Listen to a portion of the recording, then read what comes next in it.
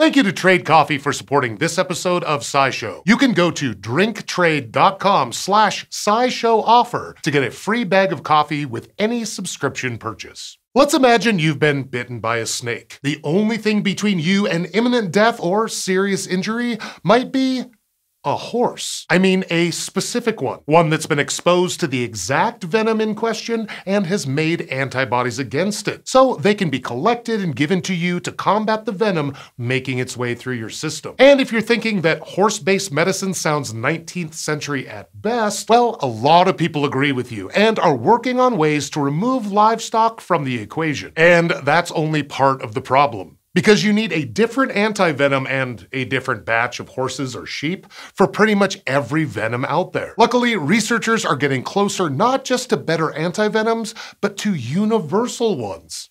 And here's how.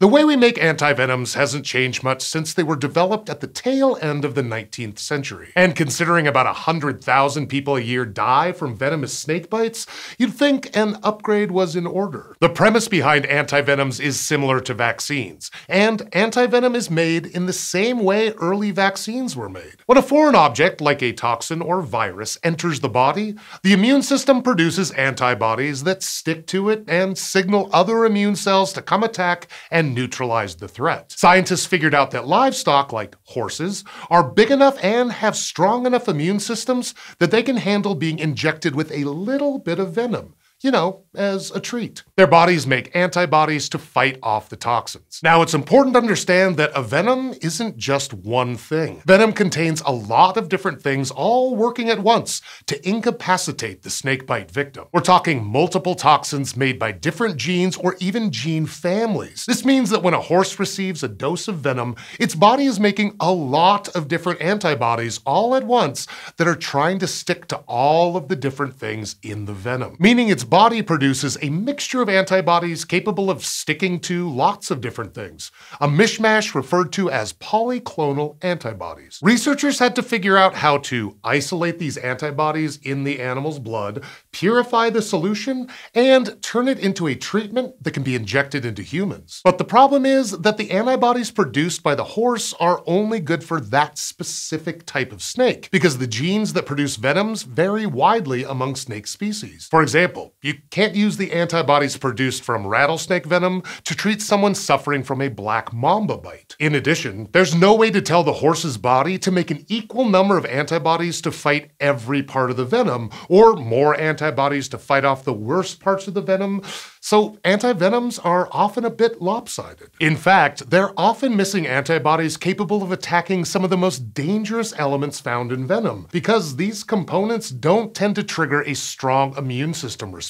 On top of all that, antivenoms can cause pretty severe allergic reactions in people, since they're made from the blood of animals. So scientists have been working on making better antivenoms, ones that can specifically attack the most toxic bits of the venom and play nicer with human immune systems. The trick here is that you can't really go around inoculating humans with snake venom and isolating the antibodies produced. And even if they could, it might not produce any better of a result than the horse.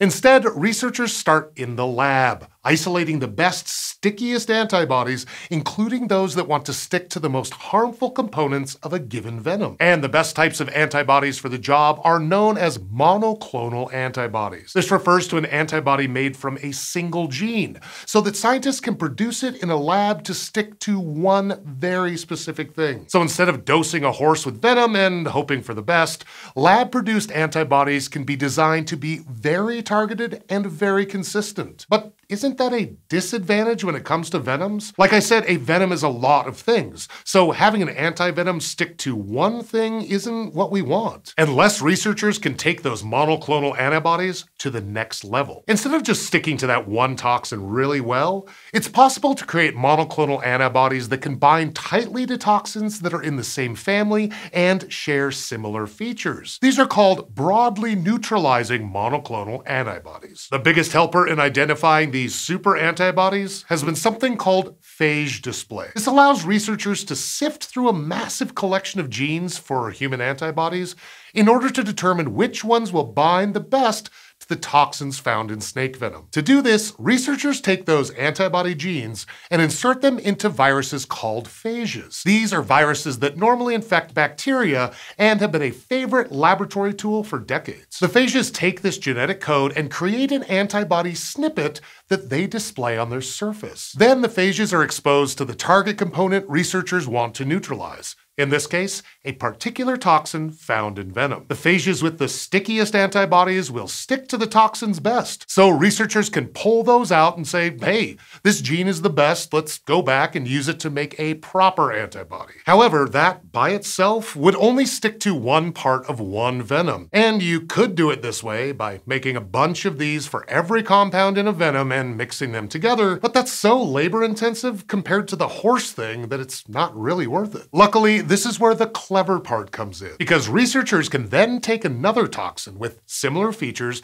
and go through the whole song and dance again. So they can find an antibody that sticks to two, three, four toxins, and so on. That means researchers can hone in on one or two broadly neutralizing antibodies capable of tackling an entire family of toxins in venom. For example, the authors of a Nature Communications paper published in 2023 used this technology to identify one antibody out of over 700 potential candidates. They found one antibody that was particularly good at neutralizing alpha neurotoxins, found in the venom of several deadly snake species around the world, including king cobras and black mambas. Thanks to the advantages of producing monoclonal antibodies, this could lead to an antivenom that works against all of those guys from one gene. It's a step up from horses, if you ask me. Okay, okay, maybe I'm beating a dead horse here, but broadly neutralizing antibodies are taking the risk and luck out of making antivenoms. Researchers hope these standardized antivenoms are the future of snakebite care, and because the process is so consistent,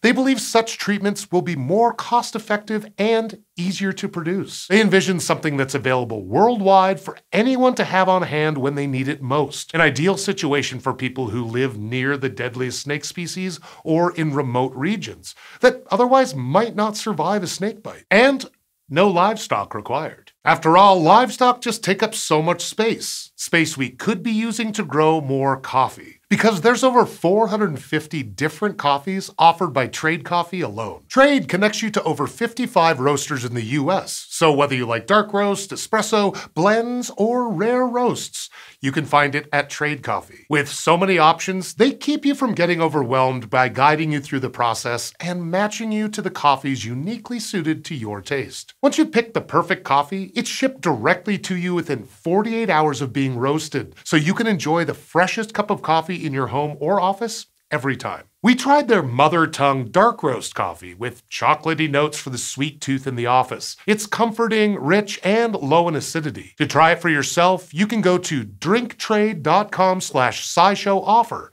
to get a free bag of coffee with any subscription purchase. Thank you to Trade Coffee for supporting this episode of SciShow.